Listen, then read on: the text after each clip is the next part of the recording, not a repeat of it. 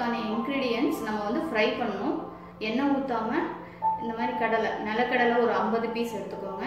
ஒரு ரெண்டு ஸ்பூனு தேங்காய் எடுத்துக்கோங்க. கொஞ்சம் ஒயிட் கலர் எள் எடுத்துக்கோங்க. தவா வச்சுக்கோங்க.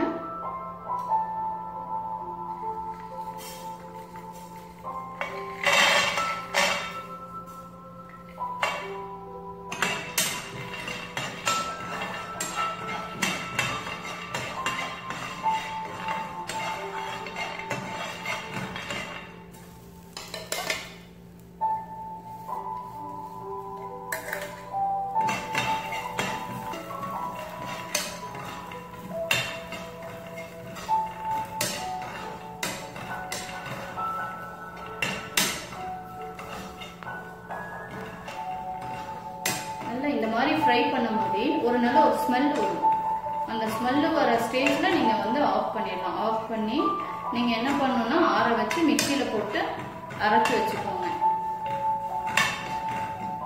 இன்னைக்கு நம்ம பண்ண போகிறது ஹைதராபாத்தோட கத்திரிக்காய் மசாலா பண்ண போகிறோம் நான் நாலு கத்திரிக்காய் எடுத்திருக்கேன். நாலு கத்திரிக்காயும் இந்த மாதிரி நான் கட் பண்ணி வச்சுருக்கேன்.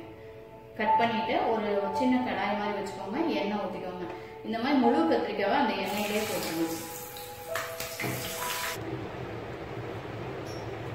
அந்த கத்திரிக்காவை நல்லா எண்ணெயில் போட்டு நல்லா ஃப்ரை பண்ணி இங்கே வச்சுட்டோம்.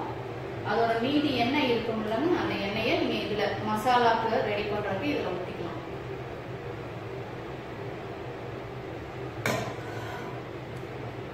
ஹைதராபாத்தி கத்திரிக்காய் மசாலா பண்ணுறதுக்கு நமக்கு இன்க்ரீடியன்ஸ் என்னென்ன வேணும்னு கேட்டிங்கன்னா ஒரு பெரிய ஆனியனை நல்லா மிக்சியில் போட்டு அரைச்சி பேஸ்ட் பண்ணிக்கோங்க. நான் இந்த சைஸ்ல தான் நான் வந்து புளி எடுத்திருக்கேன். அதை கொஞ்சம் ஊற வச்சுக்கோங்க. ஊற வச்சு தண்ணி எடுத்துக்கோங்க. அப்புறம் ஒரு ஆஃப் தக்காளி ரெண்டு பச்சை மிளகாய். அப்புறம் நாலு கத்திரிக்காய் நான் ஆல்ரெடி நம்ம எண்ணெயில போட்டு வறுத்து வச்சிருக்கோம். அதுக்கான மசாலா ஐட்டம் பார்த்தீங்கன்னா மிளகாத்தூள். அதுக்கான மசாலா ஐட்டம் மிளகாத்தூள் கரம் மசாலா மல்லித்தூள் மஞ்சத்தூள். தாளிக்கிறதுக்கு வந்து வெந்தயம் சீரகம் கொஞ்சம் எள்ளு. தாளிக்கலாம்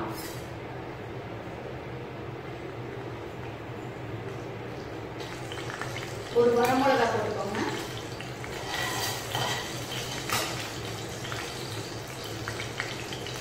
நல்லா அது வந்து பொறிஞ்ச பிறகு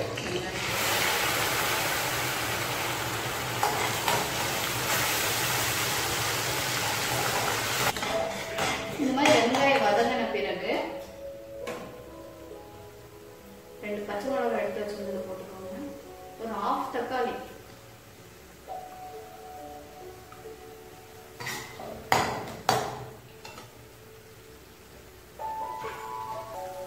கொஞ்சம் உப்பு போட்டுக்கோங்க. எடுத்து வச்ச மசாலா எல்லாமே போட்டுக்கோங்க. மிளகாத்தூள் மஞ்சத்தூள் மல்லித்தூள் கரம் மசாலா. அவங்கவுங்க காரத்துக்கு தகுந்த மாதிரி நீங்கள் போட்டுக்கலாம்.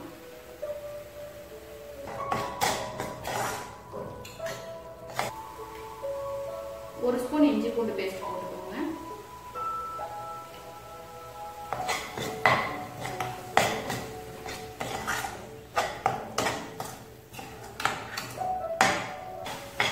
ஆல்ரெடி ரோஸ்ட் பண்ணி அரைச்சி வச்ச இதை அப்படியே ஊற்றிக்கோங்க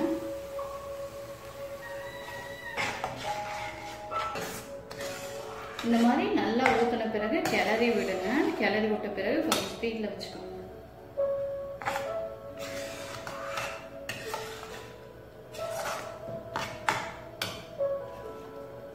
ஆல்ரெடி புளியை கொஞ்சம் கொஞ்சமாக தான் ஊற வச்சு ஊற்றிக்கணும்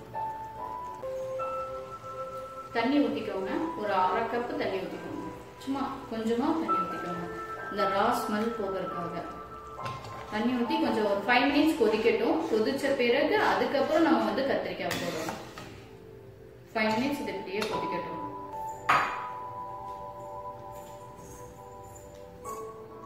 மினிட்ஸ் கழிச்சு நம்ம திறக்கிறோம். திறக்கும் போது இந்த இந்த மாதிரி தான் இருக்கும். இந்த மாதிரி ஸ்டேஜில் நீங்கள் ஆல்ரெடி வறுத்து வச்சிருக்க கத்திரிக்காவும் போட்டுருங்க.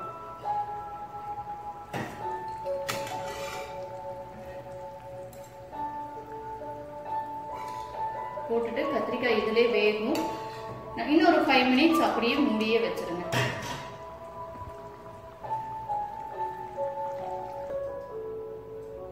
இந்த மாதிரி ஸ்டேஜில் நீங்கள் இறக்கிடலாம். ஸ்டவ் ஆஃப் பண்ணிவிடுங்க ஆஃப் பண்ணிவிட்டு எடுத்து வச்சுக்கலாம்.